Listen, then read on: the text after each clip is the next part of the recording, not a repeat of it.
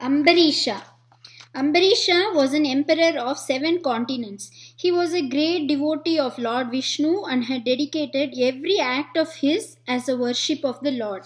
He had performed many sacrifices and was ruling the empire as a perfect jnani, considering the whole country as the property of the Lord and himself as his appointed trustee. He lived a life of tranquility, considered gold and mud as equal. At every movement of his body, he would repeat the Lord's name. He had completely merged his mind in God. He had dissolved the attachment for his wife, children, friends, house, property, and kingdom. He was living in complete isolation. On account of his great devotion, the Lord had kept with him his Sudarshana Chakra to protect him against all dangers. Ambarisha was observing an austerity called Dwadashi Vrata, that is, for a full one year, to fast every fortnight on the 10th and 11th days and break the fast on the morning of the 12th day, Dwadashi, by taking the dedicated food as prasada when the special worship of the Lord was complete. On completing the vrata at the end of the year, he fasted for three days continuously and on the Dwadashi day he bathed in the river Kalindi, worshipped the Lord Krishna, and then gave as gifts to learned Brahmins milk cows in numberless thousands. He fed Brahmins and devotees sumptuously, and he was about to break his fast by taking some prasada. At that moment, sage Durvasa arrived as a guest. The king received him with due respect and requested him to take his food in his house. The sage agreed and went to the river for a bath, sat down there for meditation. He did not turn up for breakfast.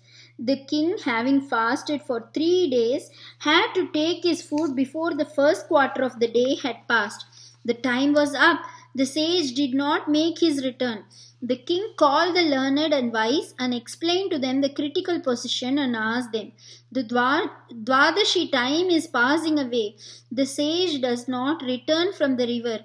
If food is not taken within the time, the austerity ends in failure. What is to be done? The learned Brahmins consulted between themselves and advised the king to sip some water as prasada and then wait for the sage. It would not amount to taking food, yet forms a way of having some prasada. The king would be absolved of all omissions and commissions. Accordingly, the king sipped three spoons of water, repeating the names of the Lord. In the river, the sage completed his meditation and remembered the king's feast.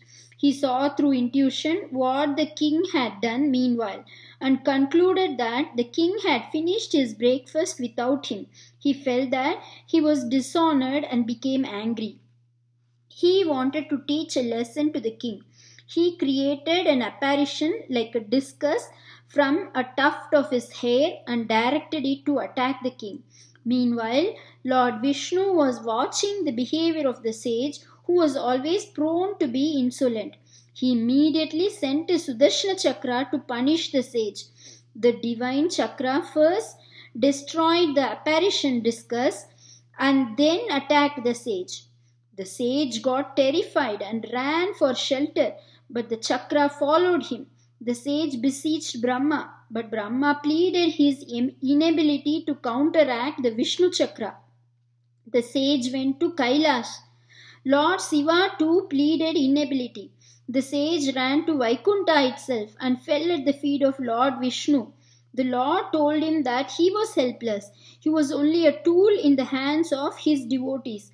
I am bound by the cords of love by my devotees. I run after them in all dangers. I protect them. They are in me. I am in them. A devo- devotee robs me completely by his love. I feel helpless. He deserts his wife, children, house, property, and everything and looks to me as the only abode. They live in my heart. I live in their hearts. A devotee attains liberation through knowledge and devotion. My Sudarshana Chakra always protects them. No harm can come to them. I cannot interfere with it. You would do well to go and apologize to the king Ambarisha himself, and he will be able to do good to you. The sage returned disheartened and fell at the feet of the king Ambarisha and caught hold of them.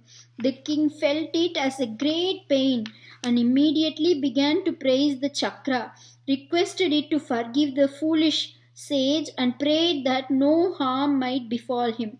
He prostrated before the chakra. The chakra became cool and returned to its abode.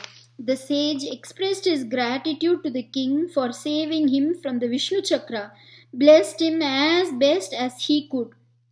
He received the sweet food offered by the king and went away praising the greatness of the devotee of Lord Vishnu, having been convinced that there was no difference between the Lord and his devotees. Both are one. The king had his breakfast after the sage had left. He came to the conclusion that all the play of the chakra coming and returning back was only the Leela of the Lord, himself being only an instrument in that play. He remembered the great truth.